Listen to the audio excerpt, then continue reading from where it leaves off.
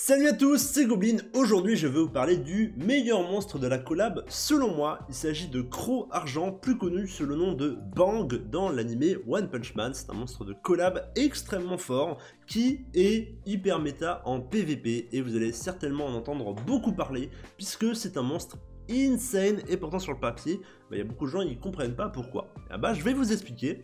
Ce monstre est basé sur le fait de ne pas avoir de crit, c'est-à-dire que de base, il a 0 crit, 0 dégâts crit. Donc vous allez me dire, bah, comment est-ce qu'il fait des dégâts pour un assassin? Eh bien, en fait, c'est très simple, il utilise ce qu'on appelle les attaques de points faibles. Quand vous ne faites pas euh, de coups critiques, vous faites des attaques de points faibles. Et en gros, ces attaques de points faibles vont être basées sur votre précision. Plus vous avez de précision et moins votre adversaire a d'esquive, plus vous allez faire de dégâts. Et il y a une méta qui va euh, être construite très prochainement. Vous allez voir beaucoup de gens avec beaucoup d'esquives. Du coup, un monstre qui est basé sur la précision, eh ben c'est très sympa. Dites-vous juste que ce monstre est basé sur l'attaque speed, d'accord? Il a 8 niveaux euh, de skill up sur son auto-attaque et il fait vraiment très mal. L'avantage des monstres qui ont, euh, qui ont une base de dégâts sur l'attaque speed, c'est que bah, même quand vous êtes silence ou quand vous avez plus de mana, il fait beaucoup de dégâts. Donc il n'y a pas de moment où il fait pas de dégâts. C'est ça qui est hyper fort avec ce monstre, et surtout quand vous êtes en PvP, il fait des dégâts dès le début du combat, d'accord? Il n'attend pas que la mana monte, etc. Donc il peut mettre en danger, surtout que c'est un assassin, la backlane dès le départ, et vous pourrez mourir avant même d'avoir eu le temps de vous soigner. Donc il faut faire très très attention aux monstres type assassin qui sont basés sur de l'attaque speed. Ce monstre-là va donc faire des dégâts basés euh, sur son attaque, et il va faire des dégâts de points faibles. Donc ça va faire des dégâts supplémentaires, parce que c'est des dégâts de points faibles, euh, parce que vous ne faites pas de coups critiques. Plus vous avez de précision, plus vous allez faire de dégâts, donc vraiment, vitesse d'attaque, attaque, précision, c'est les trois stats les plus importantes sur ce monstre.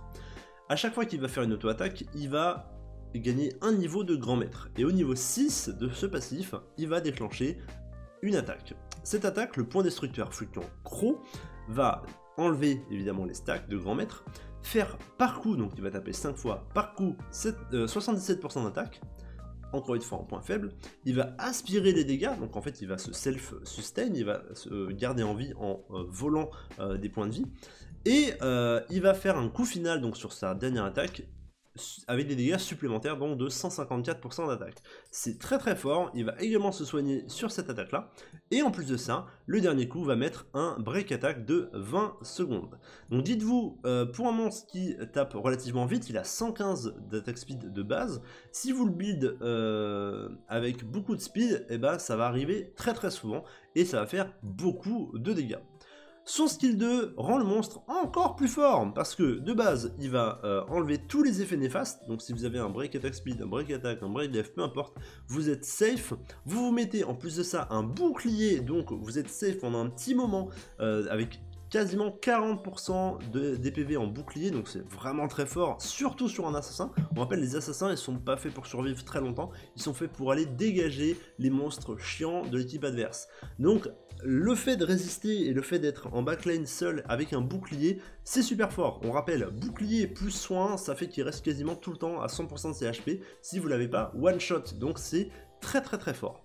Et évidemment, il se met un buff attaque de niveau 5. Le niveau 5, c'est 60% de vitesse d'attaque supplémentaire. Donc si vous lancez deux fois ce skill, vous êtes à 110% de vitesse d'attaque. De base, il a beaucoup de vitesse d'attaque. S'il a 110% de vitesse d'attaque supplémentaire, il vous détruit, d'accord? Il est beaucoup trop fort. Évidemment, le skill coûte 4 de mana avec 26 secondes de cooldown, sinon ce serait abusé. Mais voilà, dites-vous que le sort ne fait pas de dégâts, mais en fait, il le rend trop fort, donc hmm, c'est dangereux. Ensuite, il y a son troisième sort. Celui-là, il fait des dégâts, il coûte que 3 de mana, donc très dangereux quand même. Et euh, du coup, ça rend le monstre hyper intéressant, parce qu'en fait, comme il fait que des dégâts en auto-attaque, et que euh, il y a des sorts qui coûtent assez cher, qui sont intéressants, et euh, eh ben on va peut-être pas le jouer en main, on va plutôt le jouer en back, et jouer un main qui va l'aider à survivre, le protéger, mais lui au moins il va lancer ses deux sorts très facilement, et il n'a pas besoin en fait de ces sorts-là de base. Le fait d'avoir un bouclier, ça va lui permettre de régénérer facilement ses points de vie perdus, donc on va le jouer en bac, et va pouvoir jouer donc son troisième sort. Son troisième sort, il fait donc 617% d'attaque, encore une fois, avec le point faible, il aspire les dégâts qu'il inflige, il va mettre un break attack, et il va mettre potentiellement un knockdown, euh, pour 3 de mana, c'est vraiment très fort, sachant que bah, il fait beaucoup de dégâts de base, il n'a pas besoin de dégâts crit. Du coup, bah, il manque une petite statistique que vous pourriez utiliser sur ce monstre, bah, c'est l'esquive. Hein. Euh, les assassins, en général, moi je vous conseille de mettre de l'esquive sur les assassins parce que bah, ils n'ont pas beaucoup de points de vie ou de défense ou d'HP en général. Du coup, bah, un bouclier plus de l'esquive plus du self-sustain, ça rend le monstre hyper résistant pour un assassin, et il fait super mal. Il est trop fort. Et son ultime, évidemment, il tape cette fois, donc ça fait trop mal, ça fait 200% à chaque attaque, il se soigne à chaque attaque, il met un break attack, un deuxième break attack, et il peut également knockdown. Euh, il est trop fort, hein. voilà, juste c'est vraiment trop fort. Faites très attention quand vous le jouez à ne pas avoir d'autocrit, il en faut le moins possible sur ce monstre. C'est un petit peu difficile d'avoir zéro autocrit parce que, bah, en fait, le monstre il va pas du tout, euh, comment dire, euh, il va pas du tout pouvoir éviter l'autocrit que vous avez avec vos passifs que vous obtenez, je sais pas moi, en tant qu'invocateur, vous avez... non, c'est pas là. Hop, si c'est là. Non, c'est là. Hop, euh, vous avez donc les compétences de compte qui vous donnent potentiellement du, taux crit, hein, vous voyez, vous augmentez le taux crit de vos alliés ici, bah ça vous pouvez rien y faire, d'accord? Ici vous avez 2,5% de taux crit, pareil ici, vous en avez peut-être encore ailleurs, ou au niveau euh, des gemmes euh, que vous mettez sur vos armes, vous pouvez booster le taux crit de vos monstres, du coup, bah pour pouvoir le ruiner, c'est très très chiant, hein, je vais pas vous mentir, vitesse, attaque, précision et esquive, par contre, si vous avez un runage qui est bon dessus, évidemment vous allez vouloir des runes euh, Swift Esquive. Donc le plus simple en fait c'est vous allez faire le chemin de la croissance, euh, chemin d'aventure ici, vous allez faire euh, la grotte de lave et le niveau max. Donc vous aurez des runes Swift et des runes prémonition, d'accord? Et en fait c'est ça son build. Donc c'est plutôt cool hein, parce que bah, on va dire qu'il est fait pour ça. Et vous avez ces deux runes qui sont disponibles juste ici. Donc très facile à aller chercher, mais euh, de base, bah, vous, en, avez peu, donc en fait il est chiant à ruiner de base, euh, mais si vous allez chercher ces runes, c'est assez simple parce que c'est le même donjon.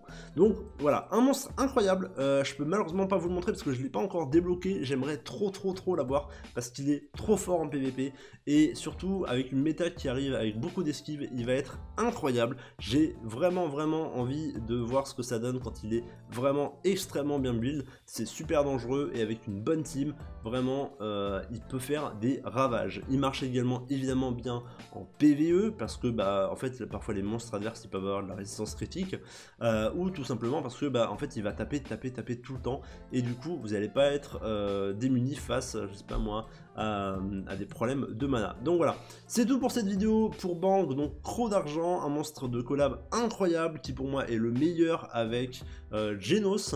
Donc je vous conseille d'invoquer un des deux si ce n'est pas déjà fait, euh, je vous conseille vraiment de le build et de le respecter parce qu'il le mérite. Voilà, comme d'habitude, n'hésitez pas à vous abonner. On se retrouve très bientôt dans une prochaine vidéo. Checkez le site dans la description pour avoir tous les codes de la collab. Et à très bientôt. Salut tout le monde. Ciao